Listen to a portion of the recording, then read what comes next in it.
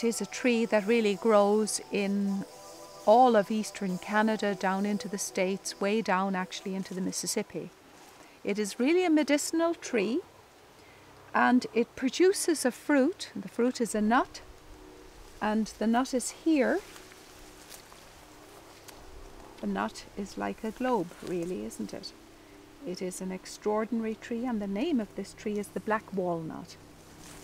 The black walnut's Latin is called Juglans nigra, a member of the gods, the darkest member of the gods. And it's called Juglans nigra because the wood from this tree is a dark, gorgeous, chocolatey wood. It is probably one of the most expensive woods in the world and the most sought after woods in the world, but it has something else. Juglans nigra is a medicinal tree of the ancient peoples of North America. This is an amazing tree. But the flesh of this nut has oleic, linoleic, and linolenic acid in them.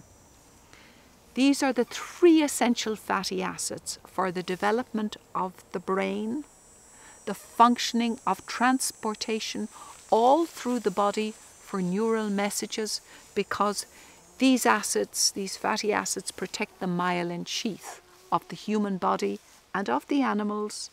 So you have a better form of brain, you have a better form of food when you eat these nuts, and what you should have is maybe two or three or four of them a day.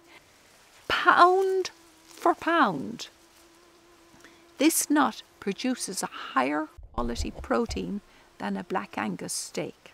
So we're starting with something very good here. It's really an extraordinary state of affairs where everything around this tree benefits from it.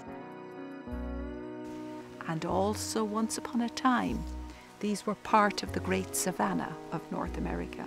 So, by the Grand Savannah, these trees increased the food and the feeding areas of the savannas of North America.